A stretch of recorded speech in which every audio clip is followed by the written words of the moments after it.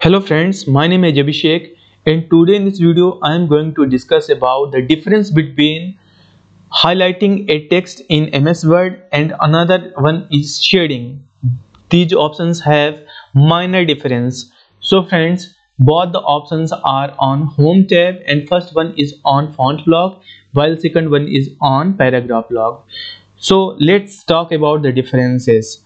First you have to keep in mind that highlighting a text always works like overlapping anything or with sketch. Like you sketch any text or any content on your printed book this same applies with your highlighting a text on ms word. Like you have 15 colors right now on highlighting a text while in shading you get many or numerous colors. You can also customize these colors so friends when you customize or when you apply these highlighting to any text like you are applying here this means that you are you are sketching these texts. While when you apply like when you apply shading to any text this means that the background is changed. Like you are applying these colors this means this is not uh, this is not applying from upwards or you are not sketching where the background is being changed.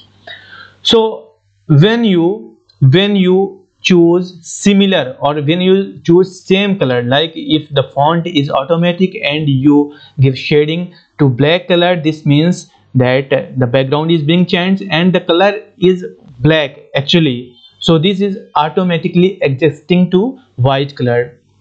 I am trying to i am trying to teach you that when you highlight anything like the color is black and if you are highlighting with black color the content or the font color will not be changed because you are opening overlapping the overlapping the uh, overlapping the area.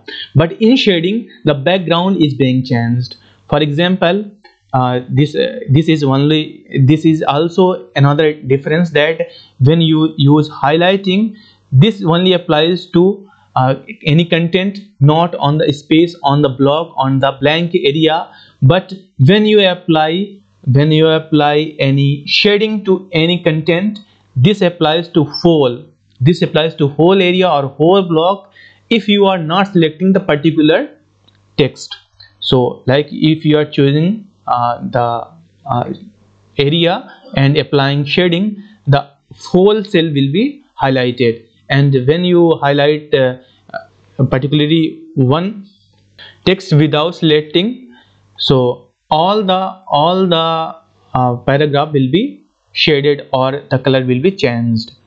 So shading always works like changing background of any text of any part of your book or page but highlighting a color always works like you are overlapping any color to any text to highlight that particular content or area.